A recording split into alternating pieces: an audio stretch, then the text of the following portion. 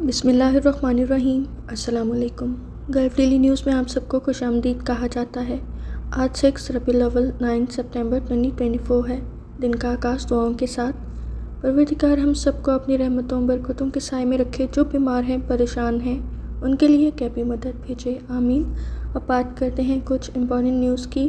Please news को पूरा देखिएगा, दूसरों से शेयर ज़रूर कीजिएगा। जैसे आपके लिए कारामद हो तो इन्हें लाइक भी कर दिया करें। और जो लोग भी चैनल पर न्यू हैं प्लीज़ वैसे सब्सक्राइब करते हुए बेल बटन लाजमी प्रेस करें, ताकि न्यूज़ अपडेट्स आप तक पहुँचाया करें।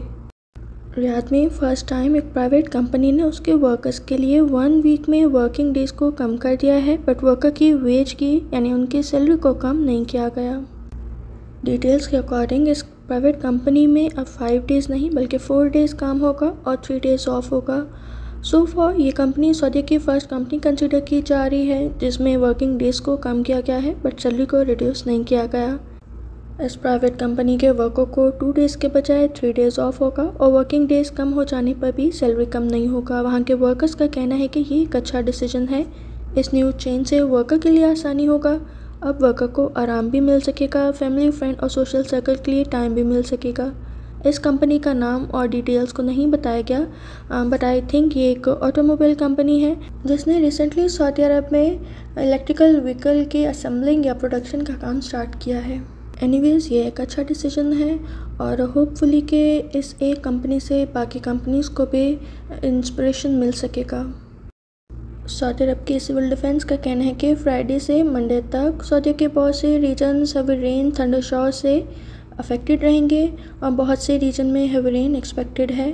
वेदर की अनसर्टेनिटी के लिए अलर्ट भी इशू कर दिया गया है। इस अलर्ट में सबसे ज़्यादा सिक्योरिटी सेफ्टी प्रिकॉशनरी मेजर्स को एम्फोसाइज किया गया है। सिविल डिफेंस की स्टेटमेंट में कहा गया है कि valleys flooded centre low lying areas में जाने को अवॉइड करें।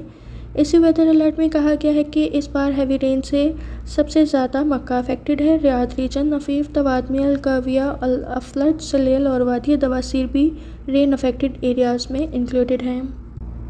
इसी तरह अलबाहा, कसीम, असीर और जाजान भी और हाइल मदीना, नजरान और अलशरकिया एरिया में मॉडरेट रेन एक्सपेक्टेड है। इसलिए सब लोग एक्स्ट्रा केयर करें और अपना ट्रैवल प्लान करने से पहले वेदर अलर्ट लाजमी चेक करें। सऊदी मिनिस्ट्री ऑफ़ इन्वेस्टमेंट का कहना है कि विजन 2030 के अनाउंसमेंट के एट ईयर्स में ही सऊदी अरब विजन के 87 परसेंट टारगेट्स को अचीव कर चुका है और कुछ टारगेट्स कंप्लीट होने वाले हैं।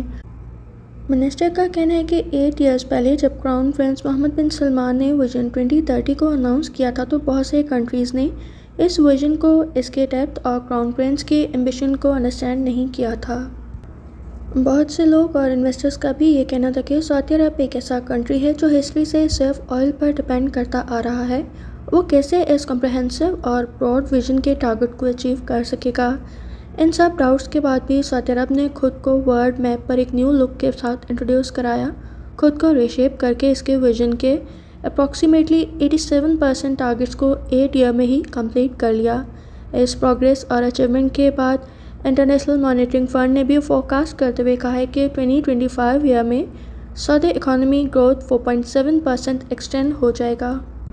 इस करंट इकोनॉमी में 4.7 परसेंट ग्रोथ एक्सपेक्टेड है। सऊदी जर्नल अथॉरिटी के फैक्टिन फिगर्स के अकॉर्डिंग ईयर 2024 की सेकेंड क्वार्टर में non oil revenue 4.9 percent increase हुआ है।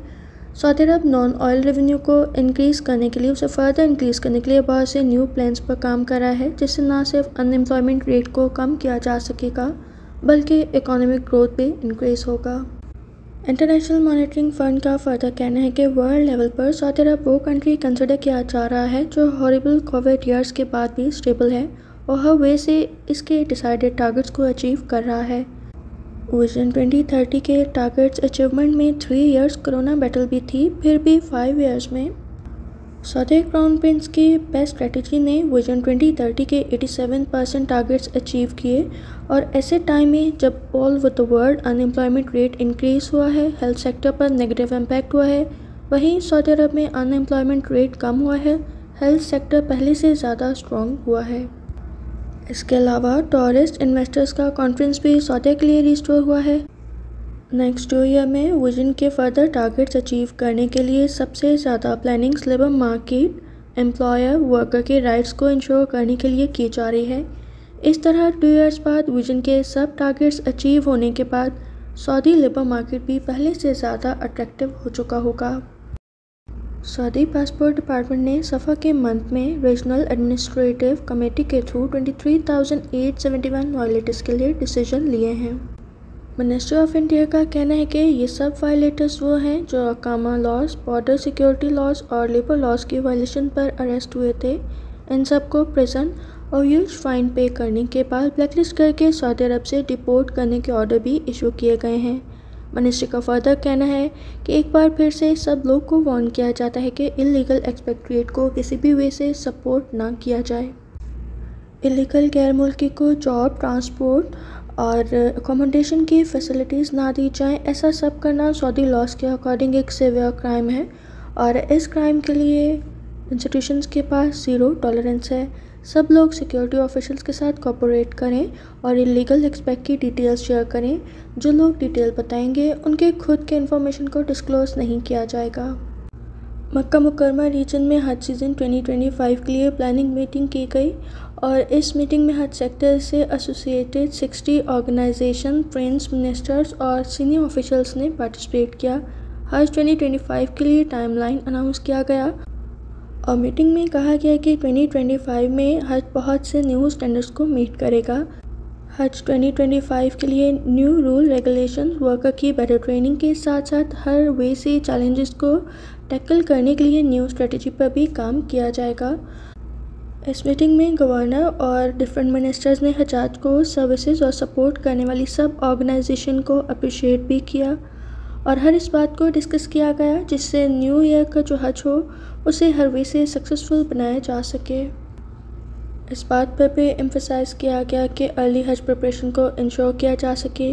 गवर्नर मक्का का कहना है कि हज प्रिपरेशन के लिए कॉपोरेशन की जाए ताकि हजाज को ज़्यादा से ज़्यादा बेटर वे से सर्विसेज़ दी जा सके और इन्हें फैसिलिटेट किया जा सके। इनका कहना था कि इस मीटिंग में हाई क्वालिटी प्लान्स बनने चाहिए, जिनका हर सीज़न पर पॉजिटिव इम्पैक्ट पड़े। इसी मीटिंग में हज 2024 की जो अचीवमेंट्स थी, इनको रिव्यू किया गया। हज 2024 में 300 प्लान्स को इंक्लूड किया गया था।